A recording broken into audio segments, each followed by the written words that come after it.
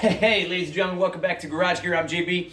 All right, so do you have a snowblower that maybe doesn't throw as far or clogs up? Well, today I'm going to show you how to install an impeller kit on it so that way you can be the envy of all the neighbors, all right? So, ladies and gentlemen, your snowblower, after following these instructions, will throw snow twice as far and never clog up, even in the heavy, heavy wet stuff that you may get during the winter, all right?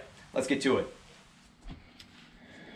Okay, so here, let me show you on a quick little drawing and a little tutorial here what an impeller kit is and what it does. All right, so let's start off with the tube that is located pretty much in the middle of your snowblower. All right, so you have like this chute here that sticks out of it, right? And inside, you are going to have either three or four impellers that spin around, all right? And they spin around and then the snow exits out your chute which you rotate and the snow spits out that way okay? So what you're gonna do is there's always a gap right here right here right here right here and as this impeller is spinning around what happens is you start to get snow built up on the edges, around the outside, round the outside, round the outside, and eventually it just clogs up, and then that's what slows everything down, and your snowblower doesn't quite throw snow as far as it could, or your machine might just come to a complete grinding halt. And I've had that happen to me a couple of times, but once I did this, I never had this happen again. So here, let me show you what you do. You take a little piece of rubber, you could take the sidewall of a tire, you could take uh, I use a piece of a conveyor belt and I basically bolt it to each of the impellers. And I usually put two bolts in each one and I put it pretty much right up to the edge of the housing of this tube or I may put it uh, maybe like a millimeter away, like really, really close. All right. And then I'm going to put one here. I'm going to bolt it down. So as it's going around, it's actually going to wipe everything on this edge completely clean and it's going to throw it right out. And actually if you have any water sitting in there it'll throw that out as well. So any slushy wet snow will come right out clean clean clean on the inside of this tube ladies and gentlemen. All right so the next step. I've actually taken off the spark plug wire here so I, sh I shouldn't have any problems with this thing starting up on me or anything like that. And when I look at the impellers on the inside of this snowblower, here's your impeller, all right? And as it comes around, and you can kind of see that there is a gap right in here. I can almost put my finger in there. A gap right inside, and that's where all the snow tends to get clogged up, especially if you have a rusty uh, set of impellers or if you have like a rusty uh, pipe everything's going to kind of start to bond up in there really quick. So what I've done is I've taken these little pieces of rubber, okay, it's pretty thick, probably a little wider than a quarter inch, and what I'm going to do is I'm going to put this right up to that edge. This is about three and a half inches. This piece right here kind of curves up, so I'm not going to really worry about that, but what I'm going to do is just get this right up to that edge pretty much, maybe about a millimeter away, and I'm going to bolt it down with two bolts here and here, and then I'm going to do that on all four. Now, some people say you only have to do two, uh, one across from another. That's fine. I like to get really crazy and really have this thing just unload snow. So what I'm going to do is put one here, one here with a bolt, and I'm going to do this eight times because there's four impellers. So uh, this is going to take me about an hour and a half, and then we'll get it going. So the next question is, do I drill through this impeller piece of rubber or do I drill through the impeller itself first. I like to actually drill through the impeller first and then I'll match the holes up with a marker on here and then I'll place it. So, because then I can kind of figure out exactly where I want it. If I try to drill through both at the same time, eh, that can get a little messy and these things kind of go flying all over the place. So that's going to be my first step is drilling through the impeller. So here we are back at the workbench. I actually cut out my four rubber pieces, one for each impeller. And I also got two bolts ready for each impeller as well. Now, these are just like some old junk bolts that I had laying around. I got two washers, one for each side of the rubber piece, and a standard bolt to put on the end. or a nut to put on the end. Now you could use lock nuts, though that's getting a little overboard. Um, these will stay on just fine. I've had my impeller kit on there for probably the better part of five years and I have not had a single one come free. So if you really wrench it down tight, you'll be just fine. So these bolts are about a quarter of an inch. And what I'm gonna do is actually take a drill bit that is slightly wider and I'm going to drill into the impeller to make the hole just slightly wider so that way these fit in nice and easy and I have actually have a little bit of play side to side or front to back so I can really wiggle these things into their right spot on that impeller. So today we're actually going to go a little old school. I've got my corded drill because if I try doing this, and I've done this before, if I try doing this with a cordless drill, you're just going to burn through two batteries in about 20 minutes. So uh, or less than that, I should say. So I'm going to use my old school corded drill to drill through these uh, impellers and get the holes. Now I actually have something like a 3 8 size bit here, something a little bit bigger. I want to have a little extra playroom so I can shuffle these impeller pieces around and get them exactly where I want them.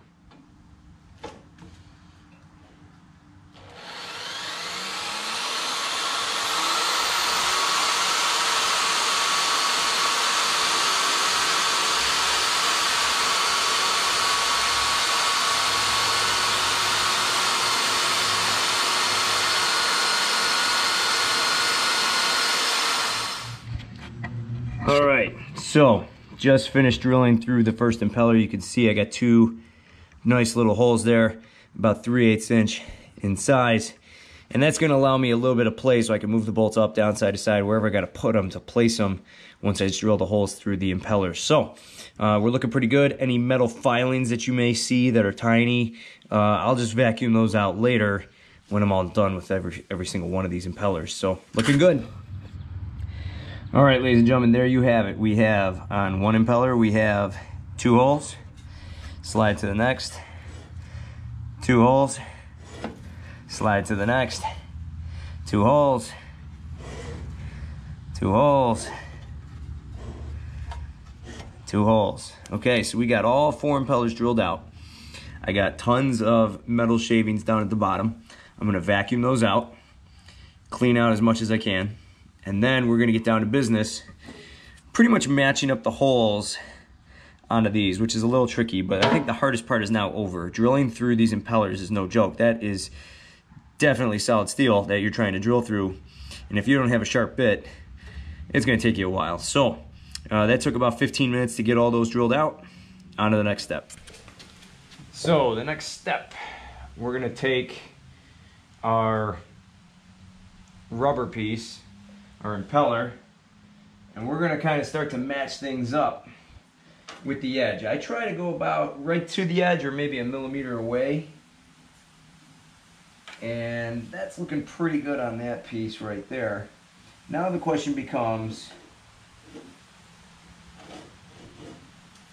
drawing the dot through the underside of the impeller with a Sharpie so I know where to drill my holes. All right. So I'm going to get it pretty much where I want it. And then I'm going to reach through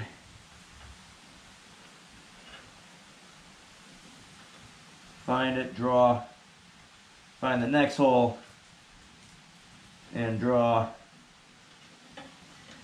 And we should have two dots. I hopefully hopefully that comes up on camera. Hopefully you can see it, but there's my two spots to drill. I'm gonna do one at a time because if I do all four, I'll mix them up.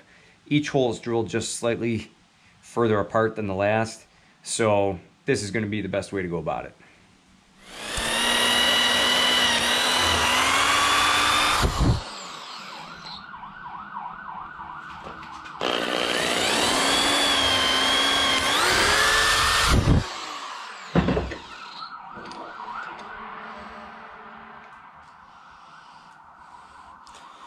And that, ladies and gentlemen, is ready to go.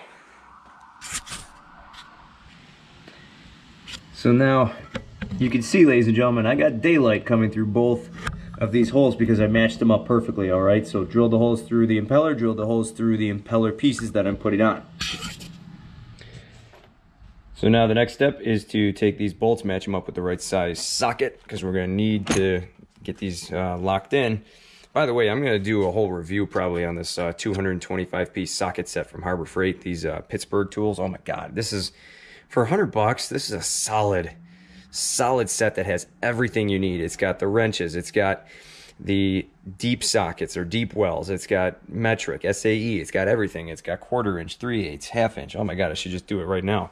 But uh, back to business. So finding the right size one, nope, half an inch, perfect. That's our guy.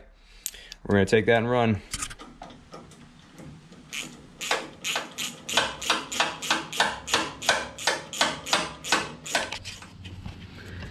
All right, this one is officially locked on. So uh, these bolts look good. You can see how much of a gap that that is there now. I mean, that is pretty much right to the metal, maybe a millimeter away, but that's good. That's right, that's right where we want it. That's gonna throw so much snow. All the snow is just gonna pile up here and it is just going to be pushed out before it can even bond to this metal tube right here. So this is gonna be a great running machine. So I'm going to repeat this step now four times. I gotta do, or three more times I should say. New piece, new impeller, Holes are ready for us. Gonna reach under, mark the holes, drill them out, bolt them on, and repeat. There you go. So now, ladies and gentlemen, about 20 minutes after that of bolting all these on, putting nuts and bolts on the backside, these impellers now come about one millimeter away from the inside of this tube. And fair warning, you will get your hands a little dirty in the process here, okay? So don't be afraid of that. So impeller, and it does, you will notice when you do this, it does make the impeller stick a little bit more, all right? And the motor will take care of that. The motor will do the math, all right? Pushing it around, there you go. So one thing I did notice about all this when I've been doing these over the years is it does put a tiny bit more strain on the belts underneath these covers. Uh, I have not, I don't want to say I've snap belts. I've only broken one belt over the years, but uh, if these are really tight to the wall, all four of them or all three of them, depending on how many you have, it does put a little bit more strain on the belts. So uh, just kind of watch that. Always check your belts at least once or twice a season just to make sure that they're doing okay. If you do break a belt, it's not that hard of a fix. I'm probably going to do a video on how to fix those anyways down the road anyways. Um, also, uh, make sure that these bolts are snugged down very tight so that way they don't go flying loose. And ladies and gentlemen, we're about ready to get rolling here. So I'm gonna give this a test, make sure it all sounds okay. And I'm gonna put the chute back on and we should be good to go.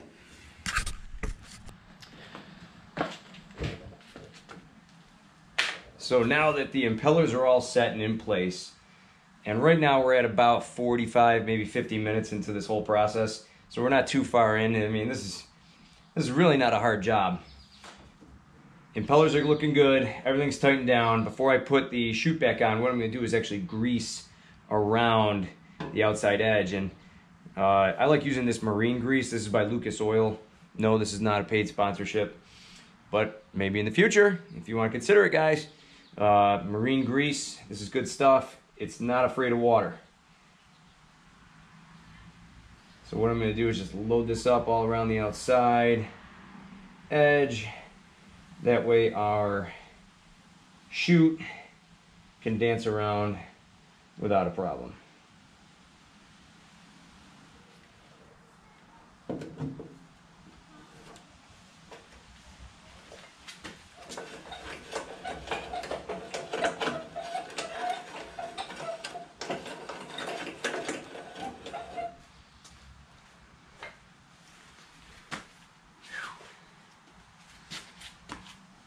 Looking good.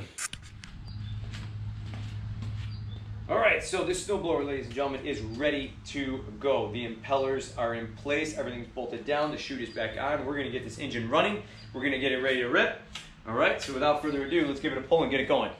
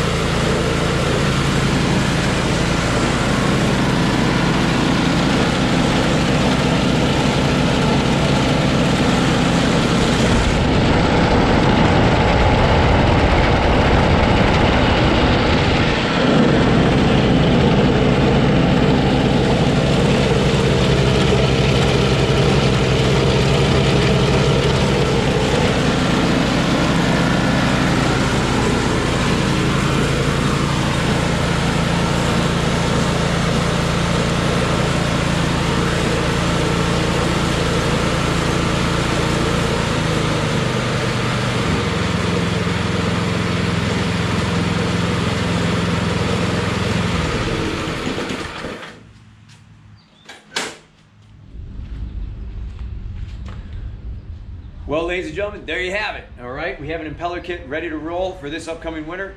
The impellers are in place, they're bolted on. They do make a little bit of extra noise just because uh, there is a little bit of friction going on inside that pipe. All right, and then there is also a little bit of a small smell of burnt rubber, and that's from the impellers breaking in, and that'll go away after another use or two. So uh, this is ready to rip for my friend, and this thing is going to be one awesome, awesome snowblower, especially with a new engine too. This thing's going to throw snow so far, probably at least 40 feet, and that's usually. So, ladies and gentlemen, thanks again, as always. All right, as always, ladies and gentlemen, please like this video, subscribe to our channel, Garage Gear. All right, we got lots more videos coming out on how to handle things around your garage. All right, cool things to try out and do. All right, again, I'm JB. Thanks for watching and have a good day.